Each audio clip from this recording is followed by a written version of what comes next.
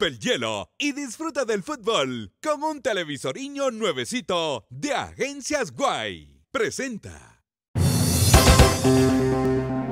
Cuatro muertos y dos menores de edad heridos en venganza de pandilleros en la colonia El Búcaro en zona 12. Vendedores del mercado de la terminal desconocen el motivo de la marcha a la que han sido convocados para mañana. Trabajadores denuncian incompetencia del gobierno en tradicional manifestación por el Día Internacional del Trabajo. Edificio de 24 pisos ocupado por personas sin techo colapsa por incendio en Sao Paulo, Brasil. Cuiabá, se prepara para vivir un año más la ancestral tradición del palo volador. Resumen de los hechos ocurridos desde la semana pasada y que ahora son verdaderas inolvidables.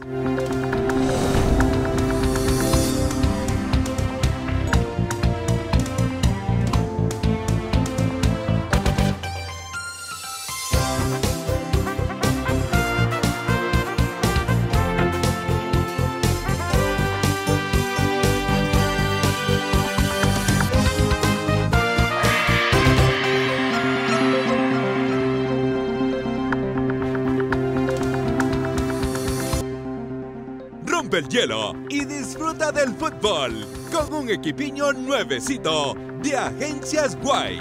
Presentó.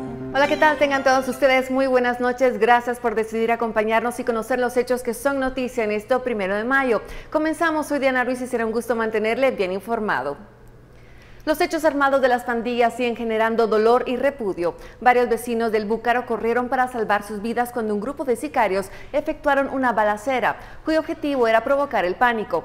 En enero el gobierno capturó a varios pandilleros afirmando que la zona 2 estaba libre de maras. Hoy esta afirmación parece ser falsa. Cuatro muertos y dos menores de edad heridos es el registro de un hecho armado en el Búcaro en la zona 12. Pandilleros que se conducían en un vehículo de color negro dispararon con fusil AK-47 en contra de un grupo de señoras, todas de una misma familia, que se conducían al mercado a comprar alimento para realizar un almuerzo para la madre que se encontraba enferma. En la escena del crimen el Ministerio Público localizó 33 casquillos de fusil. Los pandilleros lanzaron del vehículo en marcha cuatro carteles donde describen que las matanzas continuarán. En los carteles también se podía leer, para la gente del Búcaro, nuestra guerra solamente era entre pandillas, pero la población se metió con el barrio 18.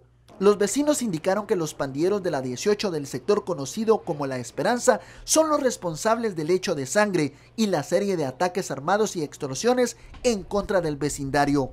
Agentes de la PNC que se presentaron media hora después del cuádruple asesinato fueron increpados por los vecinos que molestos por la poca eficiencia de la policía en protegerles, lanzaron piedras y colocaron varias llantas la policía antimotín lanzó gas para poder controlar a los vecinos. Por una Guatemala en paz en cámara, Jorge Hernández reporta para Noticiero Guatevisión, Alberto Cardona. A todo esto, familiares de las cuatro mujeres asesinadas exigen justicia y que regresen las fuerzas militares, afirmando que la PNC se vende a las maras. No, no anda haciendo nada, no que descansó hoy a comprar para el almuerzo. Eh. ¿Cuál era el nombre de su esposa, caballero? Ella se llamaba Juana Isabel Ramírez Gonz González. Sí. Exige justicia, caballero. Ah, sí, claramente, es lo que necesita, porque aquí ya no podemos. ¿eh? Lo seleccionan a uno por el modo de vivir. Estos solo andan mirando a ver a quién, a quién matan. Y no matan al que la debe, no, acá están los mareros de ay, aquel. Tranquilo, no, no pasa nada. Mm, aquí necesitamos seguridad perenne que controlen las calles, no que se amontonen ahí los mercados. Es lo que necesitamos, que cuiden las calles, callejones. Y vendedores de la terminal dijeron desconocer el motivo de la marcha a la que fueron convocados a participar de forma obligatoria mañana miércoles. Preguntamos a los arrendatarios del mercado La Terminal si conocían el motivo de la marcha a la que fueron convocados para este miércoles a las 8 de la mañana por la Asociación de Vendedores Organizados y esto respondieron. No nos dijeron nada, la única nos, nos, nos dieron un pedazo de, ¿cómo se llama? De, de, de papel, pero saber qué, qué significa allí, porque mi hermano lo... No sé, a ver, solo nos dijeron que tenemos que ir, no sé, no sé a qué. Los vendedores fueron informados por medio de volantes. Según los organizadores, es en contra de los bloqueos en las carreteras de campesinos y maestros porque afectan la economía, pero además llevarán la consigna de la no desestabilización del pueblo. a nosotros solo nos dieron papel. Sí. ¿Qué dice ese papel? a las 8 de la mañana que miércoles vamos a manifestar. No sé si el presidente o no sé a qué vamos a ir a manifestar. Sí, eso sí no lo puede decir porque no sé con qué. Los comerciantes del mercado más grande del país afirmaron que es obligación participar pese a que hasta esta mañana no tenían información clara sobre el motivo del paro. ¿Participar en la manifestación? Pues sí, porque el comité dijo que sí, es una obligación que tenemos que ir, va. ¿Les dijeron alguna razón del por qué es la manifestación? Por el momento no lo he tenido razón, pero más tarde lo vamos a saber. Nos dijeron que no era ninguna cosa política, ¿va?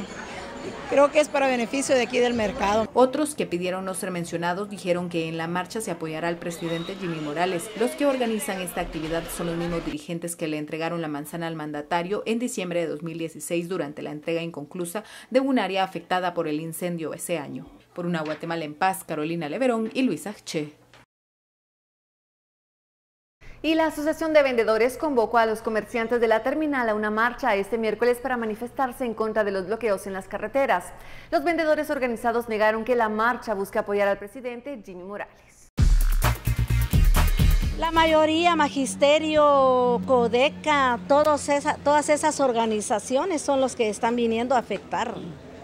Entonces nosotros ya como vendedores, como comerciantes, ya decimos un hasta aquí no seguir afectando más. ¿Cómo vamos nosotros a aumentar la, buena economía si nosotros mismos la estamos afectando? Nosotros vamos a hacer esta marcha pacífica, usando un carril afectar a nadie, pero también exigiendo nuestros derechos como comerciantes. Descartado totalmente, nosotros como le digo, no nunca ha sido que vamos a hacer esto a favor de algo. Nosotros no somos políticos.